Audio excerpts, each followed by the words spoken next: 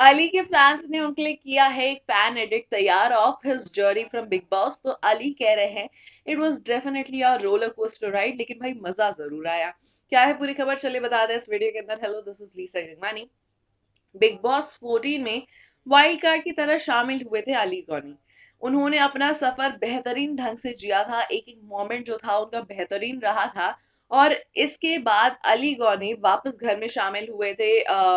एक बार एलिमिनेट होके, उसके बाद जब वापस शामिल हुए थे तो फिर और ज़्यादा उनके लिए बस क्रिएट हो गया था and then definitely he got a good position with you know to end his suffer with तो यहाँ पे उनको मिला था फोर्थ पोजिशन तो उन्होंने चौथी पोजीशन पे अपना सफ़र खत्म किया था, लेकिन उनके लिए जो बस क्रिएट हो गया था, उनके फैंस जिस तरीके से उनके लिए फील करने लगे थे, उनको जितना प्यार देने लगे थे that was definite and that was like over ऐसे में अली गौनी के लिए लगातार फ़ैन एडिट्स बनते रहते हैं। उनका बिग बॉस 14 में जिस तरीके का सफ़र रहा, जो भी उस सफ़र के माइलस्टोन्स रहे, उसको याद करते हुए फैंस ने बनाया एक एडिट तो अली ने उसको शेयर करते हुए कहा कि it was definitely a roller coaster journey obviously Bigg Boss के घर में कभी उतार आते हैं, कभी चढ़ाव आते हैं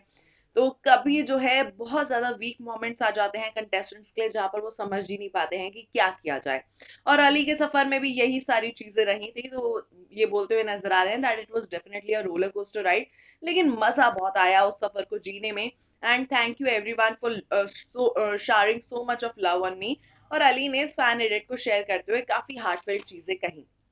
वहीं जासमिन मसीन ने इस एडिट को देखते हुए अली को एक शब्द में डिस्क्राइब कर दिया, जो कि वो अक्सर अली के लिए कहा करती हैं, शेर। तो वही हमारे शेर अली की जर्नी बिग बॉस के घर के अंदर आपको कैसी लगी, ज़रूर लिखकर बताइएगा हमें कमेंट सेक्शन में। बाकी तो आप हमारे साथ जुड़े हुए हैं, क्योंकि और भी कई सारी खबरें हैं, लगातार आप तक पहुंचेंगी।